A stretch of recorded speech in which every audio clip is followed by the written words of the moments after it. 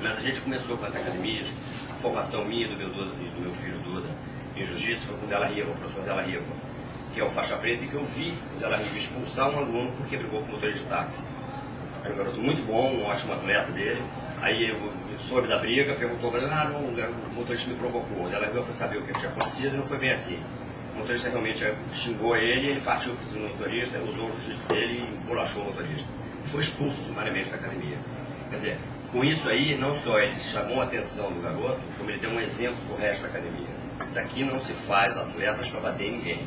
Aqui não se faz guerreiros para bater ninguém, se faz atletas para competirem. E hoje em dia todos esses esportes têm uma conotação muito forte de competição. E na competição, no judô, principalmente no esporte olímpico, a gente procura manter esse espírito olímpico mesmo, né? de camaradagem. Todo mundo no judô hoje, independente da, da guerra que acontece no momento da luta, depois sai todo mundo abraçado, sai todo mundo, todos são amigos, inclusive nas faixas mais graduadas. A, a Maísa leu aí rapidamente os princípios básicos do judô. Esses princípios todos são trabalhados desde o princípio, desde que o aluno entra no judô. A gente começa, a gente fala sempre, ao final de cada aula, a gente sempre pega um princípio e fala deles. Mas quando a gente foca ali as faixas, é porque em cada exame de faixa, além da gente trabalhar as técnicas da luta, do judô, do jiu-jitsu, do chão, a gente também faz os alunos fazerem uma, uma redação sobre cada um desses princípios. Faz o aluno pensar, ele vai para casa e tem que fazer no dia seguinte uma redação preparada. Com isso, a gente está também avaliando o desempenho escolar dele. Quando a gente começou com esse processo, a gente descobriu que um dos grandes problemas dos nossos alunos era exatamente o processo escolar. Dizer, nós tínhamos uma, uma escola pública da pior qualidade, que a gente ainda tem, sabe, nós tínhamos, a gente já teve escola pública, um processo maravilhoso, Antigamente, na minha época, pô, o aluno de escola pública era um excelente aluno.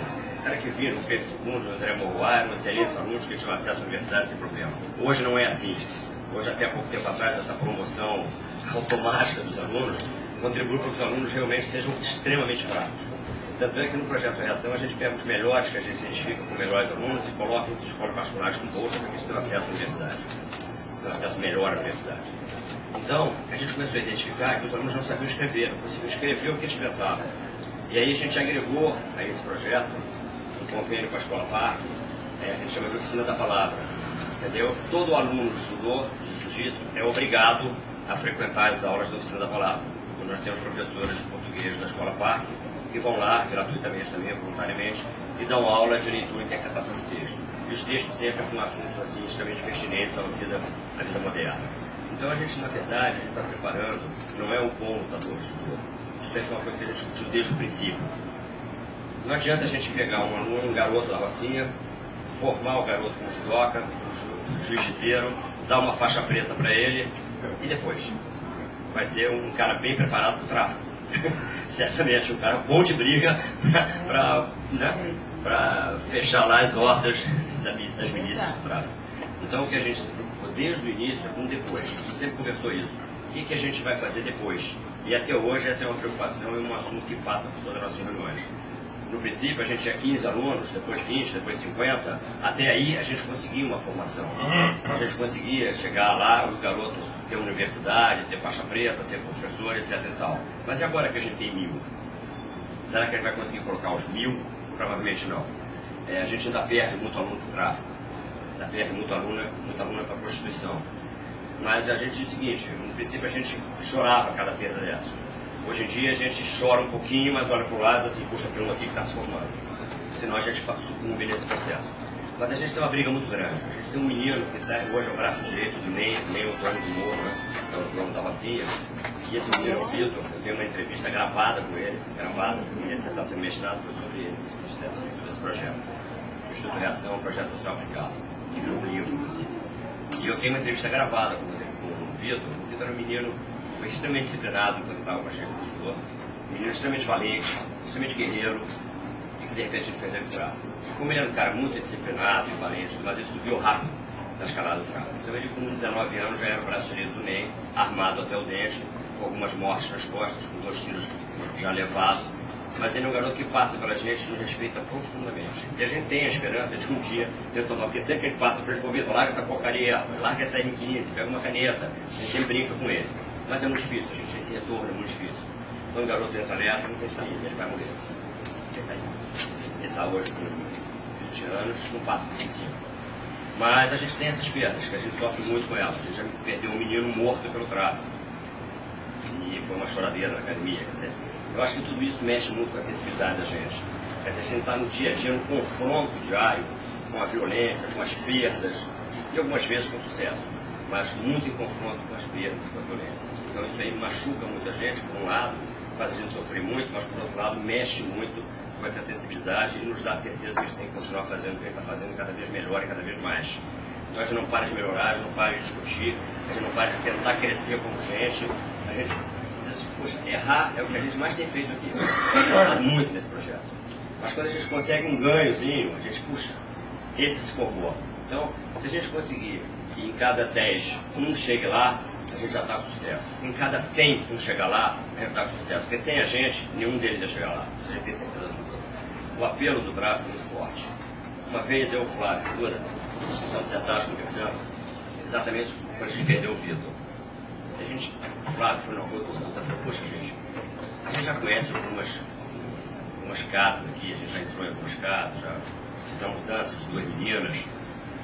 Estamos falando de uma casa que tem um quarto de 4 por 3, onde mora um pai, uma mãe. Pai não, mora uma mãe, três filhas, um neto, um cachorro.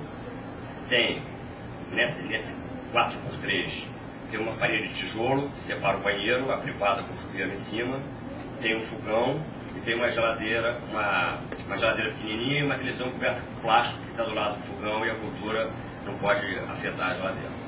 E aí a gente estava conversando duas, está dizendo, puxa gente, será que a gente que tem algum sangue, tem alguma uma valentia desde garoto, será que se a gente nascesse numa situação dessas, com a mãe doente em casa, que é o caso do Rodrigo, será que a gente não pegava uma R15 e resolvia o nosso problema?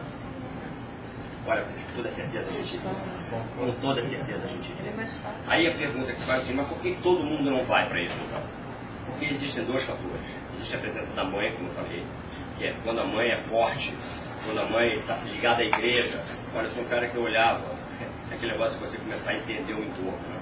Eu olhava para essas religiões messiânicas, bispo de Macedo, etc. Eu olhava cheio de cuidado com essas coisas.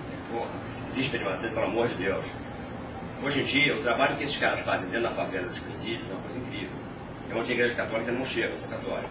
Onde a igreja católica não chega. Então, quando você tem a presença da mãe, a presença da igreja, cerceando a saída para o tráfico, o garoto se salva. Fora isso, não tem saída. Se o cara tiver um pouco de valentia, e se não tiver essa, essa, esse preceito moral desde criança, principalmente através da mãe dele, ele vai pegar a arma e vai para o tráfico. E outra coisa, existe até um engano, que as pessoas acham que um cara desse no tráfico ganha rios de dinheiro. Não, não, não. O Vitor ganha hoje 500 reais por mês. Não é nada assustador, é 100 e poucos reais por semana para segurar uma arma, para ir brigar pelo tráfico, para de repente se arriscar tomar um tiro e morrer.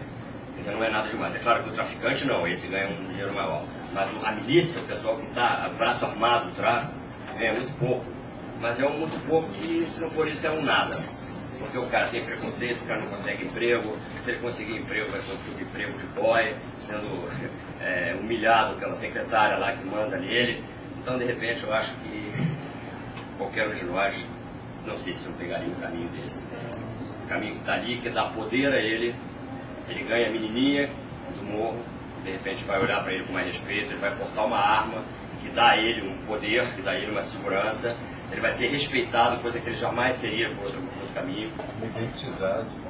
E o que a gente está fazendo hoje, está fazendo com esse projeto, é mostrar um outro caminho. Efetivamente é mostrar para esse pessoal que existem saídas. Então a gente